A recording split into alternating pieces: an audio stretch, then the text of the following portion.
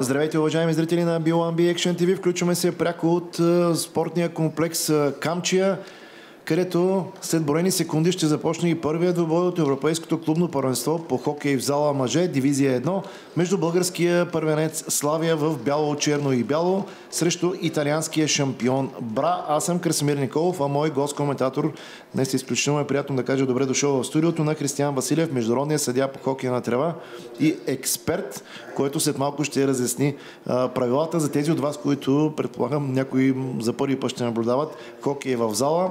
Отлични условия в санаторно-здравителния комплекс Камчия. 8 отбора участват, но а, затова малко по-късно съди на този двобой ще бъдат така добрите приятели и познати на моя гост Дънкан Ръзък от Шотландия и Кеми Робъртс от Уелс. Тези две страни също имат представители тук. В другата група с малко ще ви кажа и резултатите. Виждате как се настройват двата отбора. Добре ще ги различавате на вашите екрани. Ето сега главните действащи лица. Започваме с нашите шампиони. С номер едно е Лачазар Гросков, един от нашите вратари. Три Илиан Илиев, защитната формация. С номер четвърти Димитър Малаков, нападател. 6 Радослав Велков, също в атака. Номер 7 Мартин Сабинов е писан като вратар. Ще видим в ситуацията. Предполагаме универсален играч. Номер 9 Номер 8, прощете, Даниел Валевичаро, Валевичарски, много опитен нападател, един от така важните фигури в нашия отбор. 9 е другия Гросков, Радослав. С номер 11 играещия помощник треньор Явор Виденов, 14 Боян Николов, 17 Радослав Пенев, 23 Милош Стоянов, капитан на отбора и 25 Мартин Калев. Очакваме ето го и първия сарийски сигнал. Ето и които ще защитават частта на италианците.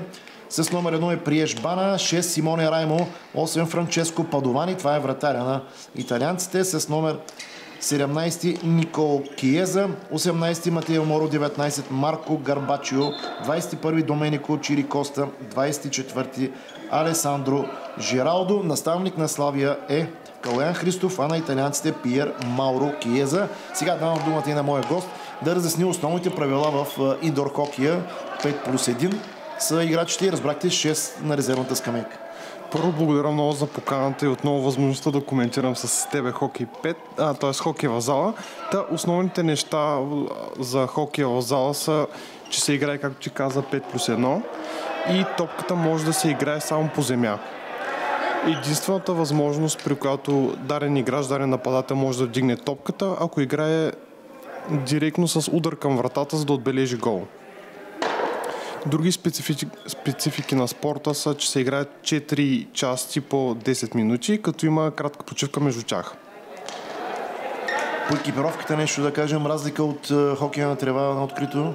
Ами екипировката всъщност е доста подобна, но играчите имат право в хокея в зала да използват едни ръкавици а, за лявата им ръка. А, като с тази ръкавица имат право и да играят, стига да държат стика с нея. Предварителен разговор си говорихме, че има и няколко вида корнери, да споменеш и за тях. А, точно така, за, за пенала, който виждате, ако в него има неумишлено нарушение, се, се отсъжда така наречения наказателен корнер, което е една статична, едно статично положение, което съм убеден, че скоро ще видим. А при умишлено нарушение вътре в пенала се осъжда дуспа.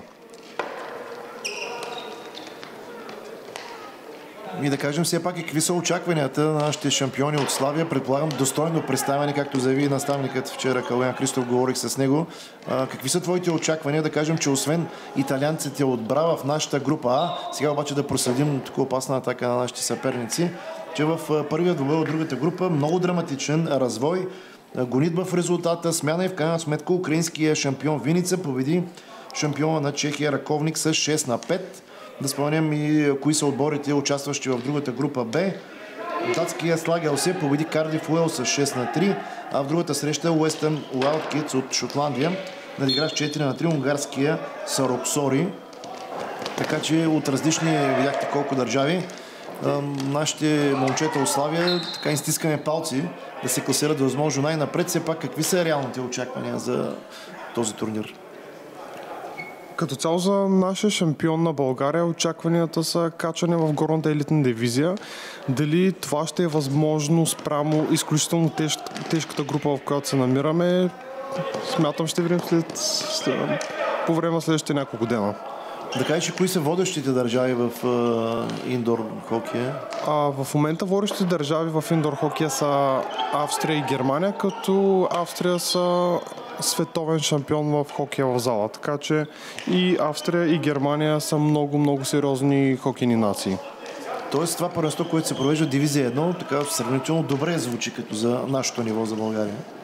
Можем да кажем, че за нашето ниво това е един доста силен турнир. И наистина се надяваме, че ще успеем да се преборим в групата, за да можем да се борим за челните позиции. Така, виждаме какво ти прави първоначално на първите две минути. Така, италианците повече разиграват. може би тактиката е такава нашата, не знам, като ако сравним с а, други спортове на контратака ли ще играем или просто изчакваме удобен момент? Ами това, което виждам до момента е, че матчът е сравнително равностоен поне първите няколко минути. Определено а, не мисля, че италиански отбор е нещо, от което трябва да, да се плашим. Все пак е стар наш познайник. Доста често сме играли по различните дивизии с тях. Така че за мен имаме реалния шанс да си вземем първия матч и да започнем много добре а, този турнир. А, като сме играли толкова много, така равностойни ли са двобоите или повечето сме отстъпвали поне за момента? Или? Ами много често са много равностойни. Повечето пъти сякаш сме отстъпвали до сега, но се надяваме, че а, днеска ще е деня, в който ще прекъснем тази негативна серия, която имаме срещу италиански отбори. Може ли да кажем, че и тук има някакво тактическо надлъгване между треньорите?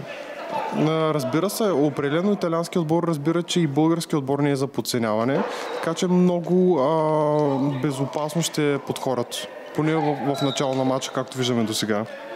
Виждаме, че тук мантинелата е по-стабилна, отколкото на аутдор хокея. Така поне изглежда. Височината същата ли? Е като... А, всъщност мантинелата в индор хокей е малко по-ниска от тази от хокей 5, се видя на мен, да. която и хокей 5, който гледахме малко преди няколко месеца миналата година. А, с, с мантинелата има право да се играе по същия начин като с хокей 5. Така за топката да кажеш нещо, виждам, че е бърза. Боли ли, ако ти удари ти? Определено боли изключително много, а, ако те удари, удари топката, но затова и както виждате играчите имат определена защитна екипировка, която, която имат право да носят, като, а, като защитни кори, защитна ръкавица на лявата ръка и на зъбници. Вратарите са доста по-добре екипирани, както и нормално да бъде така, тъй като са подложени на обстрел. Да кажем, на, на изключителен разстрел са подложени някои мачове, така че те, те, те, за тях е задължително да са с пълна защитна екипировка. Както в някои от колективните спортове, хамбала и футзал, може да кажем, че вратаря е половин отбор в случая? Понякога. Чак толкова. Ами по някой път а, зависи от мача, но може да се окаже и повече от, а, от, повече от половин отбор, точно така да. Все пак а, вратарската функция е една от най-важните в индор хокея, защото основните положения, има много основни положения, които довеждат до, до гол и гола все пак в индор хокей се случва изключително бързо, защото играта е на много високо ниво и на много висока скорост. Тоест трябва и солидна физическа подготовка, освен и тактическата Разбира, и техническата. Раз... Предполагам и както виждаш, няма много нападатели и защитници, всички са напред, всички са назаре и много често а, основните петици а, с които започват отборите, доста често се, се сменят по време на матча. А смените са хокейни, както сме си Както се казва, смените са неограничени и са хокейни и наистина много често ще виждаме смени заради много високото ниво на игра, което наблюдаваме.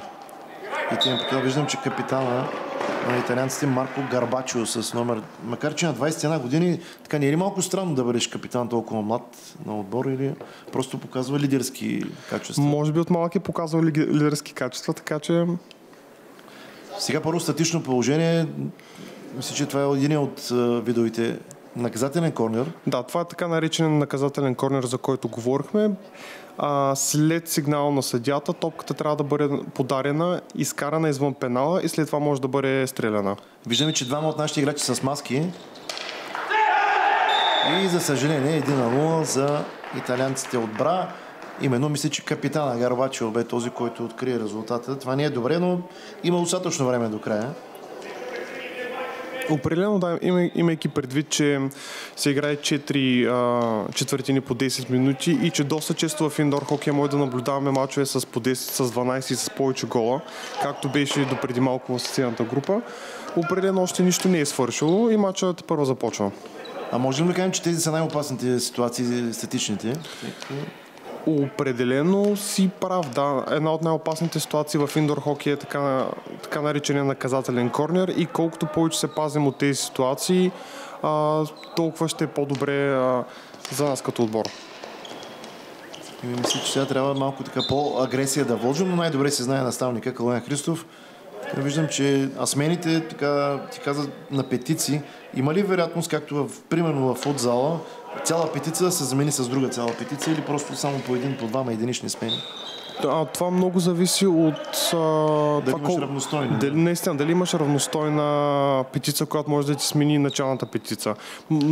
Много от водещите отбори това могат да си го позволят, да. но вече отборите от, от нашото ниво няма, няма, не могат да изкарат толкова много равностойни петиции, които да ги сменят постоянно. Така че да очакваме единични... Така, един... По-скоро единични или двойни смени по време на матча, да.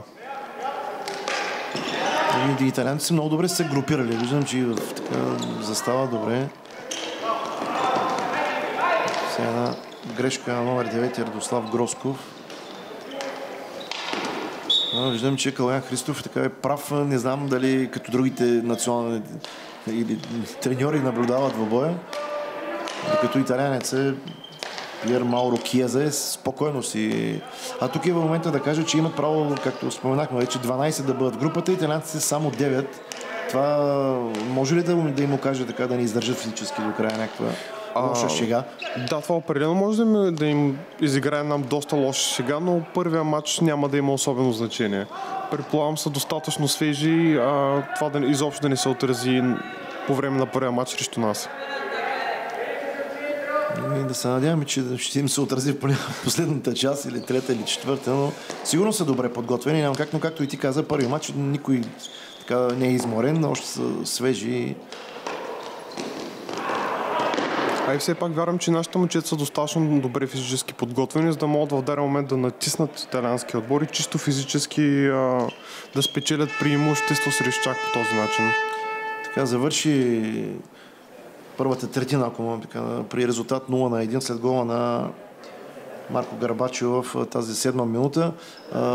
тук искам да отбележа, че министър на младежта и спорта Красен Кралев изпрати специален поздравителен адрес на организаторите, т.е. на Клуб Славия и на Българска федерация хокей на трева за домакинството. Какво помага на българския хокей това домакинство, освен така престиж?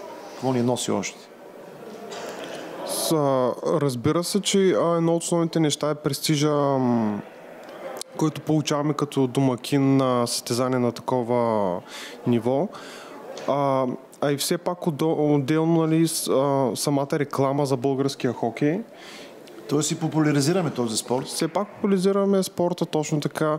И, има шанс и българските фенове да го гледат по телевизия, но да, други се, хора да се запалят Тези, по които хокея. не са разбрали, B1B Action TV и uh, тази вечер, въпреки че е празник, двоен, троен, кой както го празнува, има още един двубой на Славия uh, с чешкия ръковник от 18.45 от сега така, преди да започнете да празнувате, може да се насладите, надявам се, на така, победа на нашия тим. Утре също в 12.45 е последния матч от групата. Да обясним регламента все пак. И там, зависимост от класирането, отборът на Славия ще се бори за останалите места. Тоест, две групи по 4 отбора, където победителя играе срещу победителя от другата, втория срещу втория. Mm-hmm. И в неделния ден, когато е финала, за 7-8 място играят четвърти отбори, за 5-6. Надявам се ние да сме в по-предните двобои, но още е твърде рано. Сега един така индивидуален пробив на Гросков. Доста често го забелязваме, много е активен.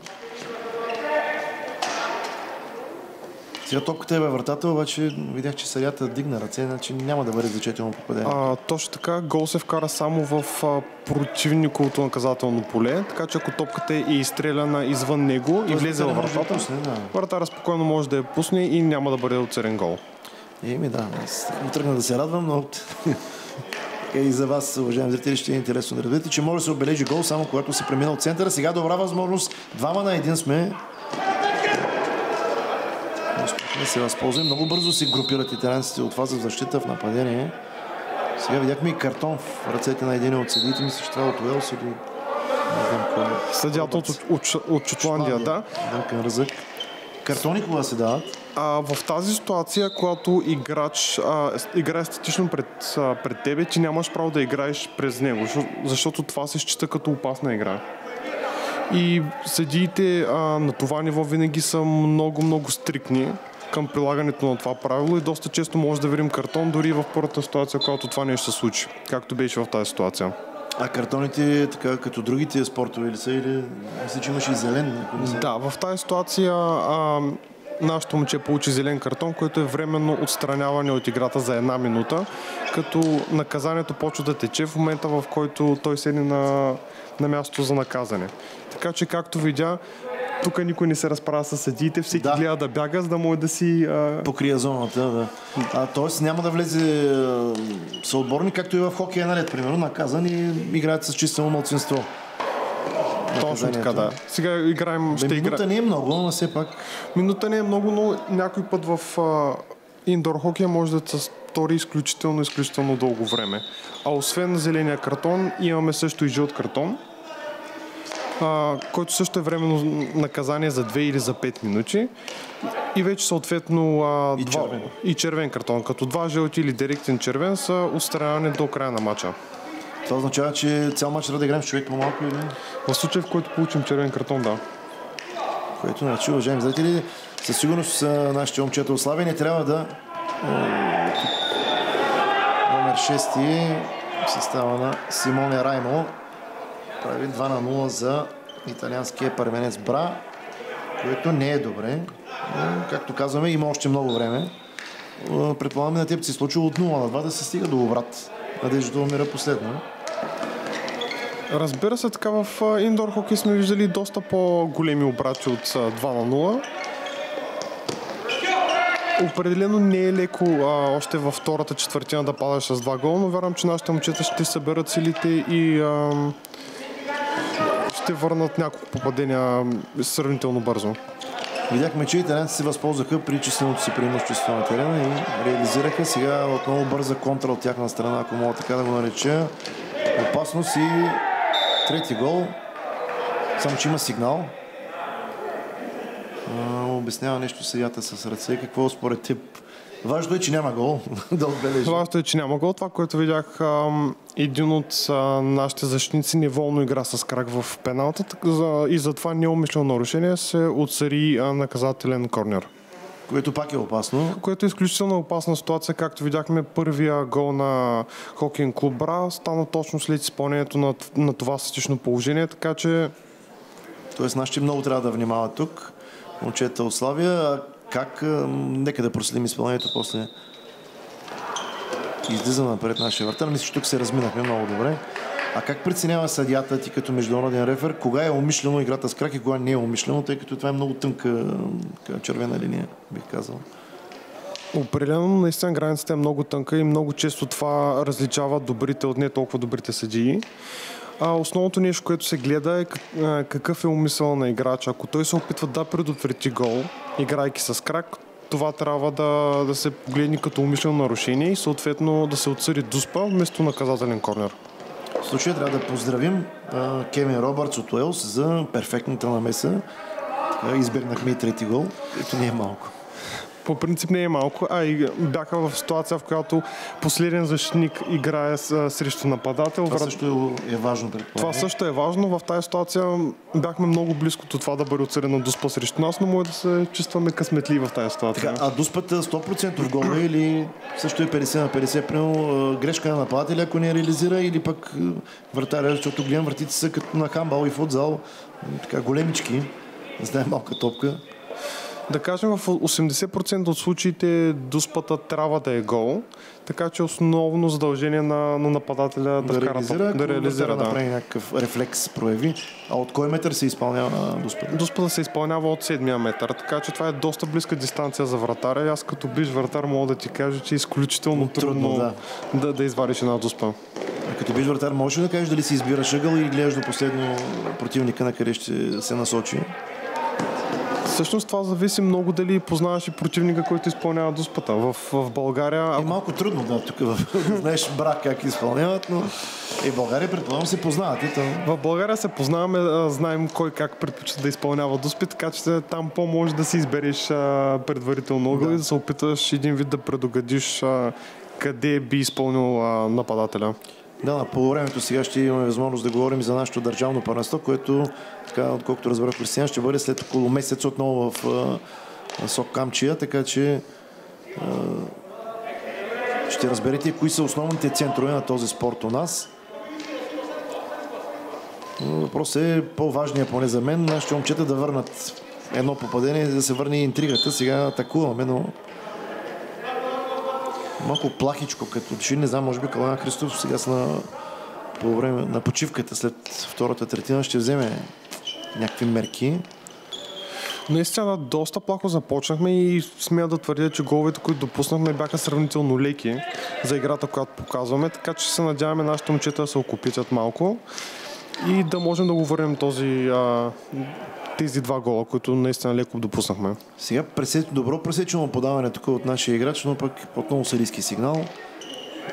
Не знам, може би е нарушил правилата, сигурно.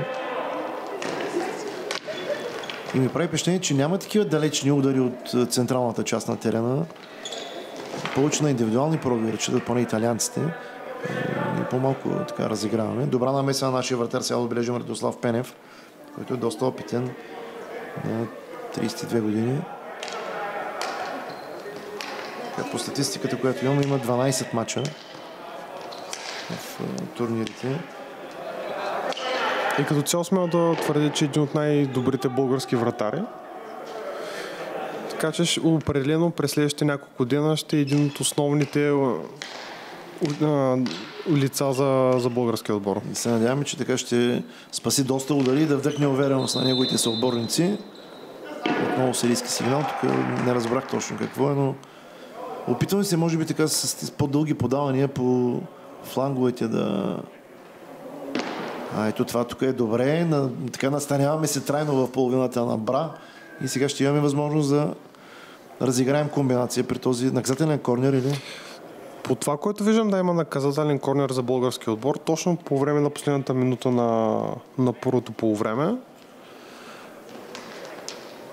така че нека да видим дали може би това ще е момента, в който ще върнем Много важен психологически момент, в който да е спор да нанесеш преди почивката гол, който се равнява на два. Да видим сега как ще разиграят момчета от Славия. За съжаление, ударът бе на Радослав Гросков, но не знам, ще продължи. В наше владение ще остане топката. Топката още в наше владение, да. Не знам дали има време да направим още една атака.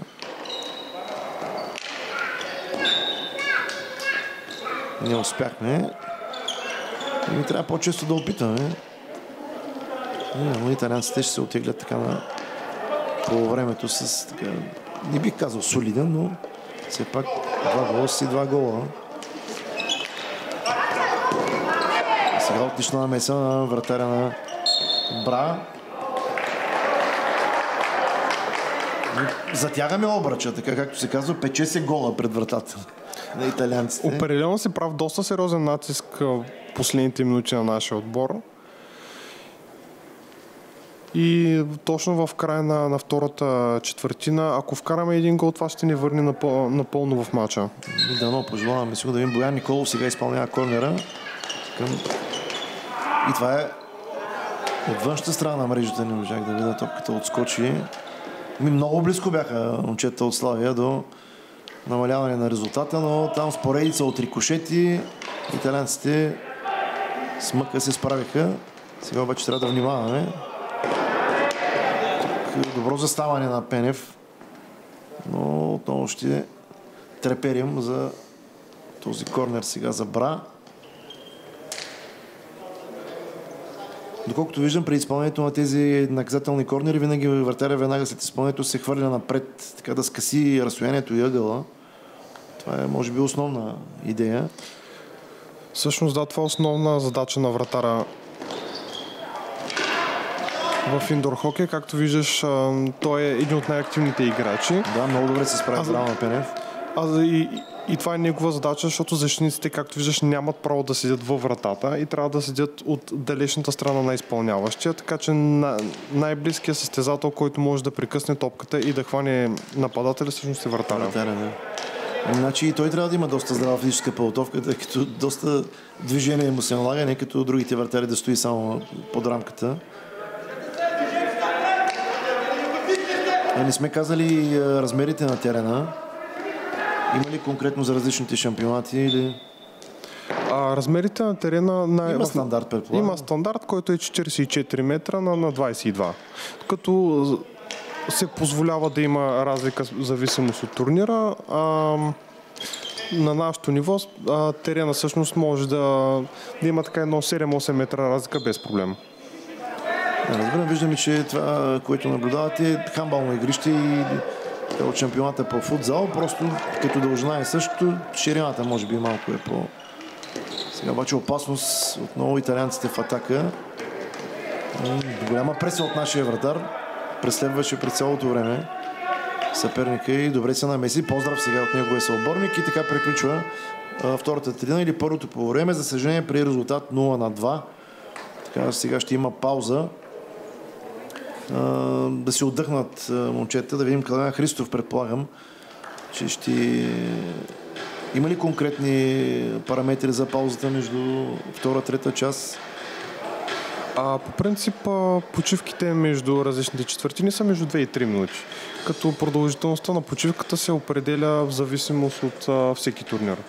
Позволява се някой път почивката между втора и трета част да е 5 минути, а между първа и втора да са 2, но Разбира се, от, разбира се, има разлика в категорията на турнира. Сега е момента да кажеш нашето държавно първенство, как се развива, кои са основните центрове. Разбрах, че ти си, освен съдя и действащ играч на Варненския отбор на Свети Климент, както и мой добър приятел Ники Янчев, който надявам се ще дойде за втория матч на Славия. Кои са другите центрове в този спорт? За хокей на трева или за хокей в зала? Като цяло за хокея в България един от основните центрове, разбира се, е София, където да. имаме най-много отбори. И къде... Славия и Академик Плюс, доколкото Славия, Академик Плюс. Не сега. Ние сега Локомотив София, така че можем да кажем, че, че по 50% са... Около 50% от отборите в хокей в зала са точно в, са точно в София.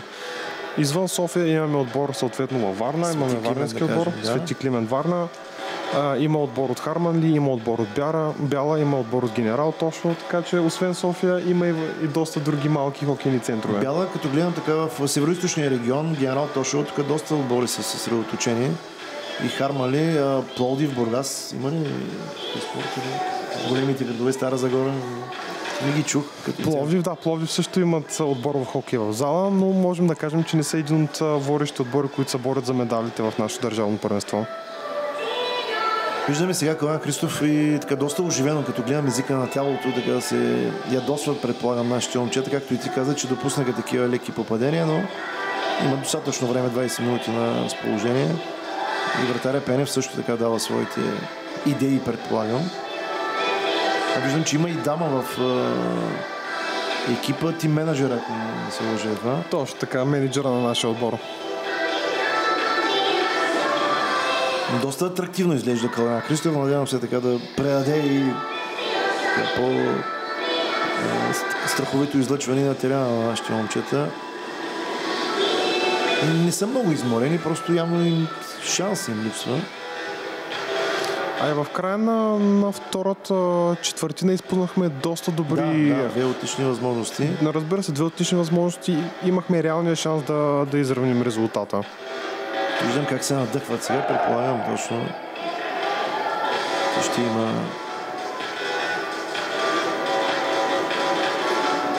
промяна в игрово отношение. Един ранен гол със сигурност може да ни върне в играта. Да видим дали ще има промяна с номер 3 Илиан Илиев. Виждам, че ще започне.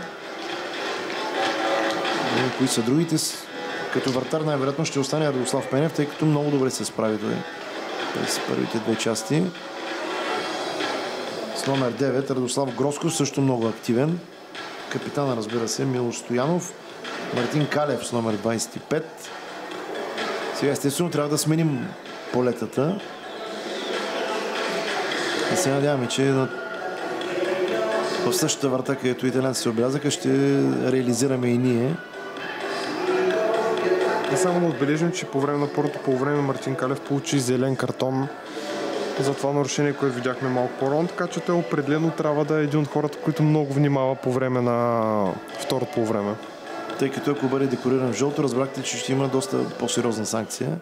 Не да, говорим за червено, нали? Да, не говорим за червено, но ще бъде отстранен от терена за две, между 2 и 5 минути. Е, може да се окаже и решаващо и фатално за нас случая. Но... Така че да внимава. Е, предполагам, не е предупреден от треньора. А и той си знае какво трябва да направи. И всичко е готово за началото на третата третина и на така наречено второ полувреме между отборите на Славия. Ето го и сигнала, който дава старт на втората половина на този двобой. За съжаление, нашия шампион Славия за сега отстъпва с 0 на 2 италианския Бра. Двобой, който наблюдавате пряко в ефира на B1B Action TV и всички изобщо двобой на Славия и финалните срещи, предполагам, ще имате възможност, ако решите да бъдете на нашия ефир. Припомням в нашата група много драматично отборът на украинския първенец Виница надигра с 6 на 5 чешкия шампион на Раковник, който ще е втория съперник на Славия. Нямат много време за почивка, само няколко часа. Тази вечер от 18.45 белгите ще имат възможност да зарадват своите почитатели. В другата група, повтарям още веднъж, датския слагал се победи Кардиф от Уел с 6 на 3, а шотландския Уестън Wildcats надигра с 4 на 3 унгарския Сороксари.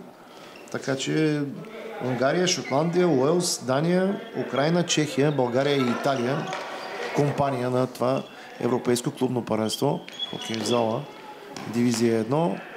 Видим всяка, виждаш някаква тактическа промяна или отново ще разчитаме на същата схема, която започнахме двобоя. За момента така почваме доста прибрано третата част но е вече според мен е време да почнем да натискаме италянския отбор и да почнат да падат попаденията в тяхната врата. Тоест да ги пресираме така по-често. Да, но затова се иска и, и физическа издръжливост. Надявам се, че имат момчета на Калая Христов. Виждаме, че се изнесаха в по-предни позиции, така и трудно изнасят топката италианците напред. Ето сега ги блокирахме в тяхната половина. Чули се какво да направи. Буквално сме го заградили. Няма... Той няма и вариант какво ще измисли. Мисля, че е номер 18 това, Матео Моро.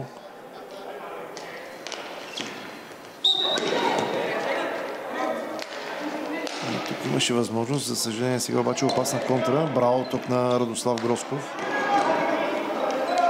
Обаче и той е блокиран.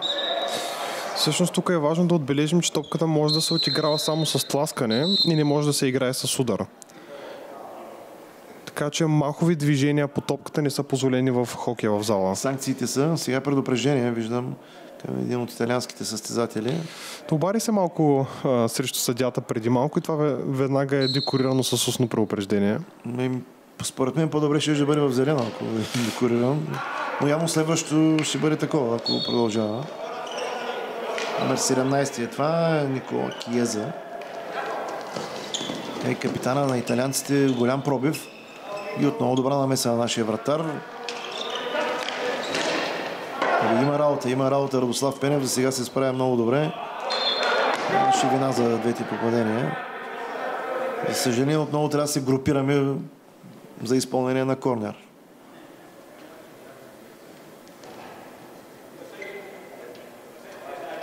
Номер едно. Приеш Бана, който с първото име, надявам се ви говори, че е така от с азиатско потекло поне. Така изглежда. Именно той ще изпълни и да се надяваме отново да се измъкнем сухи тук от тази ситуация. С път много бързо излязахме напред. Но пък добре владеят италианците, така повече си подават. Въпреки, че не бяха особено убедителни при изпълнението на този наказателен корнер, което е само позитиви за нас, в крайна сметка. Така се успях да сега отново Бана остана сам срещу Радослав Пенев, който излезе и скъси разстоянието в италианското първенство, което мисля, че е някъде да по средата на, на сезона. Отборът на Брай на второ място. Явно са много с амбиции. Мисля, че 7 точки след водача. И тук нямаше какво да направи. Бе оставен отново непокрити. Не се лъжи отново капитана на тима.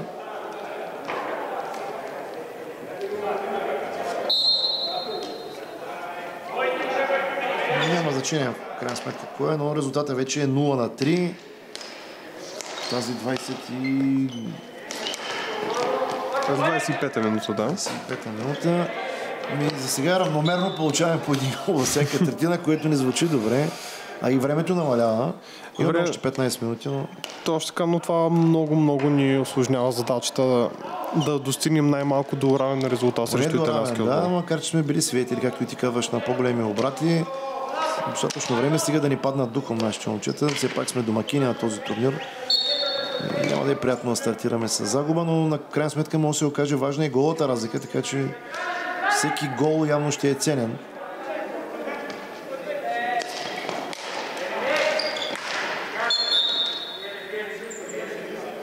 Но аз, както виждам нещата, в момента трябва да натиснем италианския отбор и трябва да ги пресираме за абсолютно всяка топка. За да можем да, да, да достигнем поне до първо попаде- попадение. Това е много важно. Да, ако отбележим един гол, сигурно ще върне самочувствието на играчите. Аз така тайничко се надявам, по-фенски разбира се, да седите от Шотландия и от Уелс, така някой дуспа. Може да, ако има, разбира се, за какво да я отсъдят. Искаме подаръци, но един гол със сигурност може да даде начало на обрат.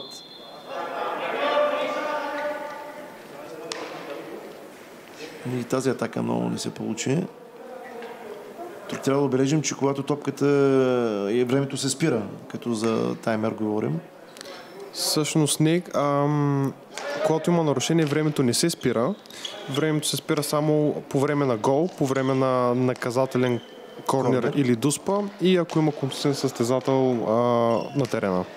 Което говорим, че това не е чисто игрово време, така ще се загубят някои ценни секунди, които може да не са от значение, но случая за Славия са, тъй като трябва да наваксва доста голям пасив.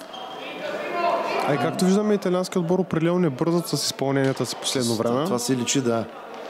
А, и, като рефер, може ли да се санкционира, когато вече умишлено се бави играта? Да. Само пак устно предупреждение ще се. Да, разбира се, първият път, когато а, като седи а, видим, че някой бави времето, трябва да го предупредим устно, но след това може, спокойно може да се използва и картон при умишлено бавене и изпълнението на същото положение. Много опасен пробив. Номер 12 Симона Джилия. И...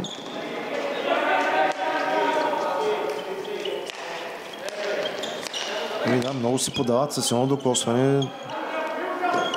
Явно идват доста сериозно подготвени с амбиции за този турнир. Ето как се подсигурява, по двама блокират всеки наш играч.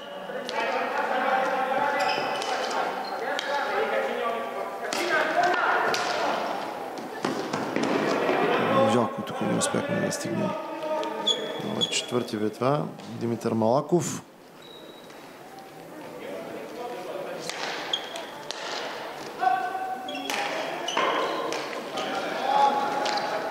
Въпреки, че с 9 души за сега не, не им се отразява на бра. Водят в резултата, владеят и по-често инициативата. Ами наистина няма какво да губим. Надявам се, че в последната третина вече трябва малко, може и в банк да тръгнем напред. То не само може, а според мен е трябва. Трябва, да. И това най-добре си знае Калуян Христов, тъй като той знае възможностите на своите състезатели. За съжаление и третото попадение така не бе нещо впечатляващо. Отново лек гол получихме, но се натрупват нещата.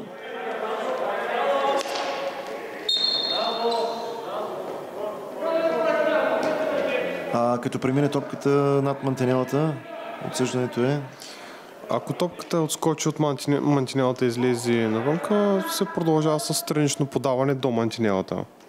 От мястото, където е напуснал. Точно така. За отбора, който не е играл с нея последно. Значи казвам му на по-разбираем език, странично хване или тъч, ми спомня само, че по различен начин. Сега браво на Радослав Гросков успя да отнеме. Много е активен. Аз лично много ми хареса номер 9. Стана на Славия. Преди малко получи удар. Неволен, разбира се, от съперник, но продължи така стиска зъби. То отново така позаградихме съперника, който в собствената си половина се чури как да изнесе. Ами така трябва да ги притискаме постоянно. Все някой ще сбърка. Измъкнаха се обаче от блокадата. Отново Гросков. Не ми заслужава това момче да се разпише. Браво сега е на номер 14 Боян Николов. Имаше и нарушение срещу него, ако не се лъжа. На Симоне Джилия. Спокойно сме да твърдя, че тук нарушението беше умишлено. Да, Опита аз- се умишлено италианския играч да, да спре нашото момче, така че Може да видим картон, така поне зелен. според мен трябва да бъде декориран с поне зелен картон в тази ситуация. Значи има шанси да е жълт, ама... Да. Е... Но ти каза, че ги познаваш Сарика, така че едва ли има нещо тенденциозно, просто така гледна точка са имали, така са отсъдили. От гледна точка, че матча върви сравнително спокойно, са преценили, че този картон не е нужен. Сега целият ни щаб дига ръце и тук имаме явно претенции. Да, ето браво на Кемин Робъртс. За втори път уелския арбитър така ми прави много добро впечатление. Еми, тук вече е момента, така в края сме на третата третина да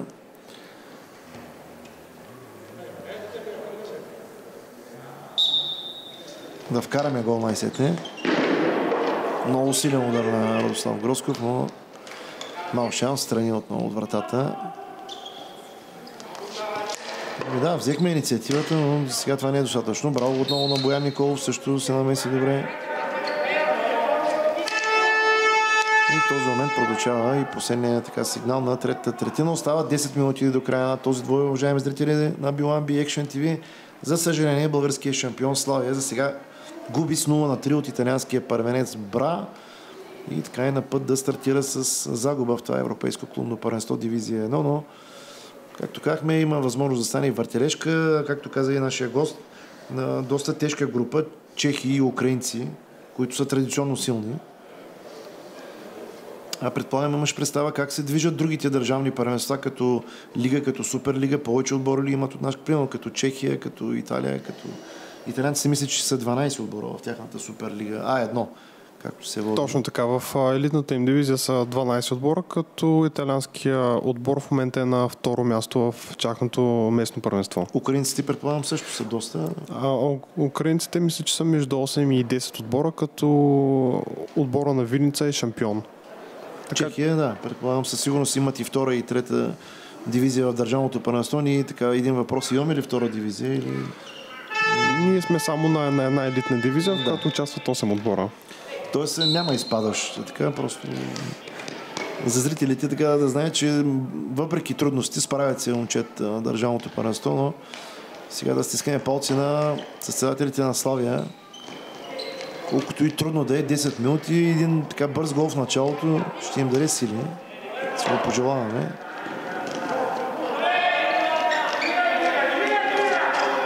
И Италианците, да, определено вече не бързат. Стремят се да печелят всяка секунда. Росен видяхме сега Даниел Валевичарски. Начитаме и на него. Капитана Милош Стоянов задържа там, но виждате как трима веднага в жълти екипи го пресират. Ами не знам, сега ако тръгнем така по-смело напред, да не е пък да бъде по-припрени действията да правим повече грешки. Има... То резултата го изиска, според мен поне. Напълно си прав резултата изисква в момента да играем за всяка топка, да пресираме италианския отбор, за да можем все пак да върнем един или два гола колкото се може по-бързо. Еми, дори да загубим първата среща, така, не трябва да правим трагедии. Предполагам, че... Разбира се, нищо не е фатално. Имаме още два мача. Убеден съм, че нашия състав ще излезе с много по-голямо самочувствие по време на втората и третата среща, така че нищо не е приключило дори и да загубим тази. Смисъл, че има два мача през няколко часа, така проблеми ще бъде за възстановяването на състезателите. Или, ако, зависи как са подготвени. Не? Но... Много зависи от това как са подготвени. Определено не е леко физически, но, са, но вярвам, че нашите шампиони са направили нужната физическа подготовка преди състезанието, така че това да не е проблем.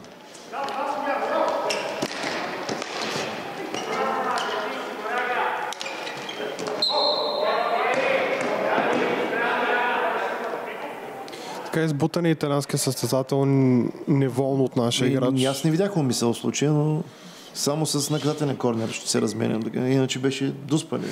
Другия вариант. Да, другия вариант, който беше дуспа и евентуално в тази ситуация и картон. Да, браво и на шотландския рефер. Тук отново мисля, че така добро решение. За съжаление, четвърти гол в нашата врата. Този път номер 17. Наистина по графика ръвят италианците. Николе Киеза, Никола Киеза в...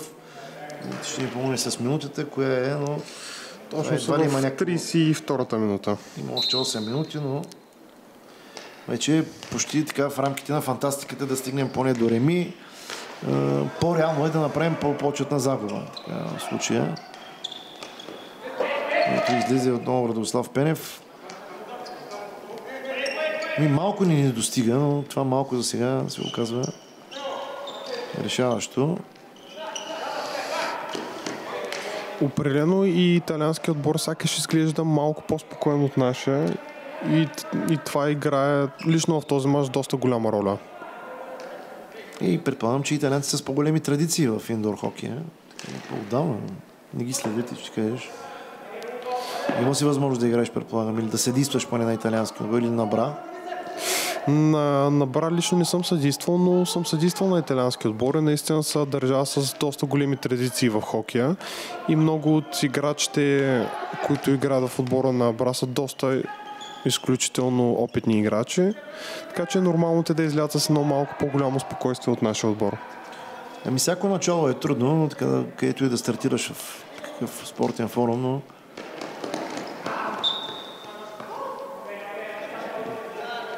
Да, ето, точно Никола Киеза ми прави впечатление, че доста пъти реагира на всяко едно сарийско отсъждане. Мисля, че му е време така да бъде декориран в зелено поне или още по-добре в жълто.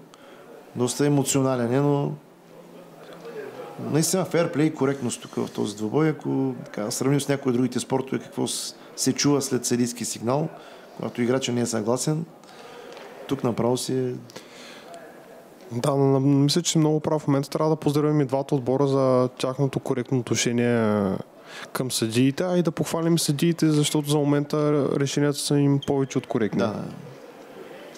Сме казали нещо за отсъждането в рамките на шегата, разбира се, въпреки че не се иска. Сега капитана на нашия Стоянов тръгна напред и тук имаме възможност да организираме пак атака. Нали, да, основно тежестта пада на Радослав Гросков, Боян Николов. Виждаме сега с на 6 Радослав Велков е влязал. Отново добра намеса на нашия вратар. Радослав Пенев. Тук с известно закъснение, като че ли бе отсъдено. Но приеж бана в центъра на събитията и така спряха една много перспективна контра за нашия отбор около 5 минути преди края. Аз лично така вече с напредването на времето си пожелавам поне почетно попадение да отбележат момчета на Славия. И в крайна сметка предината на италянците да не става още по-голяма. Да, защото наистина накрая може и голата разлика. Сега мисля, че избърза номер 18 Матия Моро да изпълни този наказателен корнер. Затова ще бъде повторен. Но отново Киеза ни наказва с пети гол. 36-та минута, ако не се лъжа. Да се надяваме, че тази загуба, която се очертава до момента, няма да повлияе на момчета за втория матч. Много е важно да я забравят колкото може по-бързо.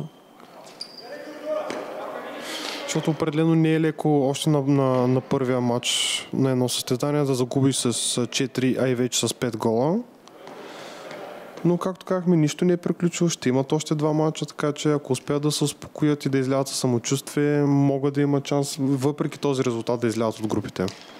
Все пак да повторим, много сериозни съперници, желязна група, чехи и руснаци в нашия поток. Така, мисля, че ако бяхме попаднали с uh, шотландци, унгарци, Уелс и Дания, ще да не бъде по-леко или? Определено смея да твърдя, че това е по-тежката от двете групи. И а, доста трудно може да се направи а, прогноза кой отбор ще е първи, кой отбор ще е втори, имайки предвид колко са равностойни и тежки всички отбори, но вече сме в тази група, няма, няма какво да... да... Жребия, това е отредил. Това е жребия, жребия това е отредил. Може, може, може за сега можем само да гледаме напред.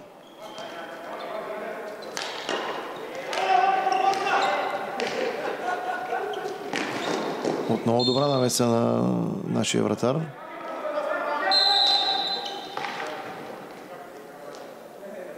Който сега показа с ръце, че иска прекъсване. Може би има някакъв проблем с екипировката.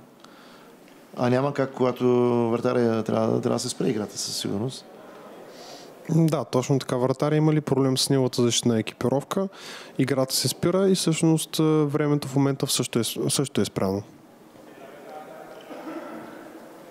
Еми, той Радослав Пенев толкова удари отнесе, наистина може да се е поразместила малко. А виждаме тук как наистина сериозна защитна екипировка е това. А и както казахме, не е приятно да те ударят точно с топка за топка по хокей, така че и затова виждаме е доста е болезнено и затова виждаме вратарите с екипировка отгоре до долу.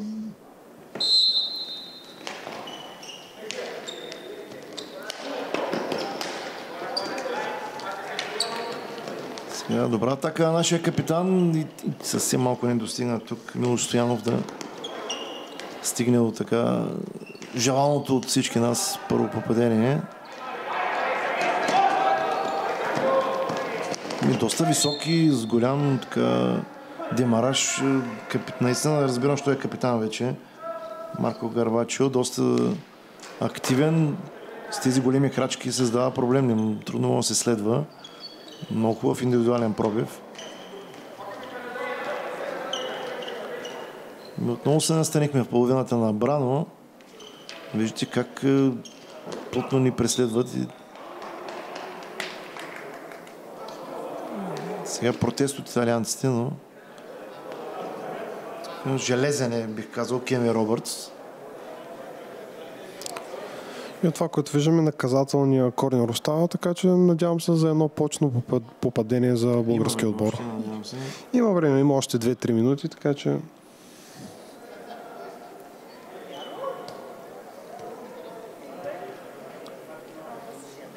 Да видим се. Сигурно номер 9 пак Радослав Гросков ще изпълни. Точно така. А, не. Вратаря обаче много бързо излезе. И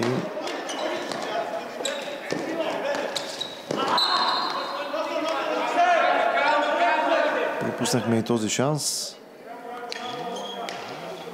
Ние вече сме към края на този първи матч. Каква оценка би дал на състезателите на Славия? Така очертаващата се загуба в началото на това европейско клубно първенство. Това, което наблюдахме през първия матч, доста плахо започнаха. Предпазливо, може би. Доста предпазливо. Всъщност допуснахме много рано доста леки голове, така че се надявам през следващите матчове да видим едно доста по-стабилно престане, което сме свикнали да наблюдаваме от в България. Да, надявам се и треньора Каланя Христов така да вземе необходимите мерки, полуки да се извлекат. Определено имахме нашите шансове по време на матча, но не можахме да достигнем до гол, поне до момента.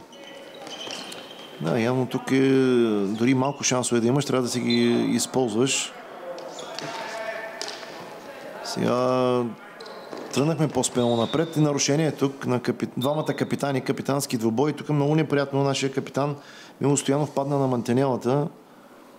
Предполагам се случва това, но ще стисне зъби. Тук е така, точно пред Кевин Робърт стана това нещо. Ако имало мисъл, сигурно щяхме да видим. И, да, ще напусне играта капитан Стоянов.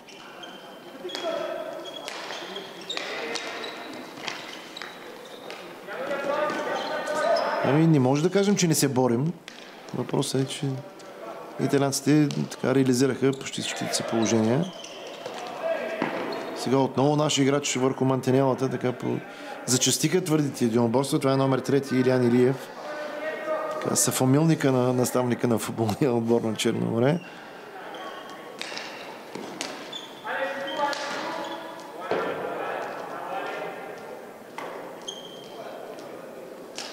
Ами намалиха оборотите вече. Бра.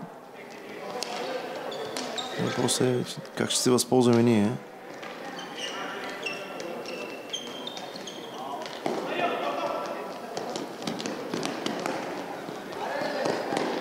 Виждате как извежда свой съотборник след много дълъг пробив. Браво тук на Илян Илиев и Вардаря Пенев. Така блокира удара. Със сигурност предотврати много попадение. Аз не искам да, да си мисля, ако пък Пенев не нямаше толкова добри намеси, така как би нараснал резултата, но в крайна сметка и това 0 на 5 така не е много... Не звучи добре, като за начало. Мартин Калев сега можеше да...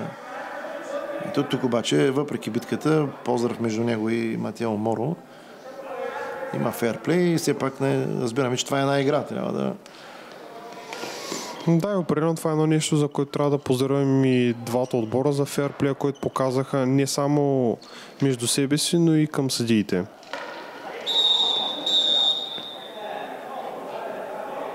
Ето сега извинявам се отново. Мартин Калев, категоричен бе рефер. Мисля, че нямаме претенции към двамата съдии. А и с картон видяхме. Мисля, че зелен. Трябва да поклине, може и, може и да е жълт картон, като за последна да, Ами най-вероятно ще завършим със сигурност с човек по-малко. Да, точно това мисля, че е точ... отново Мартин Калев. Абсолютно и жълт. Който получава жълт картон вече, да. Значи със сигурност ще доиграе матча с това. Няма много, с много време, но ето го и последния сигнал и така за съжаление отборът на Славия стартира с загуба 0 на 5 от италианския първенец Бра. Това е европейско клубно първенство по хокей в зала, дивизия 1. А, така, финални думи на нашия гост коментатор Християн Василев за този първи матч. Ние вече споменахме загуба, но надеждите умират последни. Точно така имаме още два матча. Резултата в групата определено не е решен. Така че надяваме се да започнем доста с по-голямо самочувствие втория матч за днескашния ден и да се зарадваме с една победа в края на деня. Аз благодаря за професионалния коментар на Кристиан Василев. Така, уважаеми зрители, не пропускайте след като Славия отстъпи с 0 на 5 на Бра. Тази вечер от 18.45 отново на живо в ефира на BOMB Action TV. Белите ще излязат срещу чешкия раковник, така че не пропускайте и това наше пряко предаване. От мен Красимир Николов и от целия екип ви пожелавам приятни минути с нашата програма.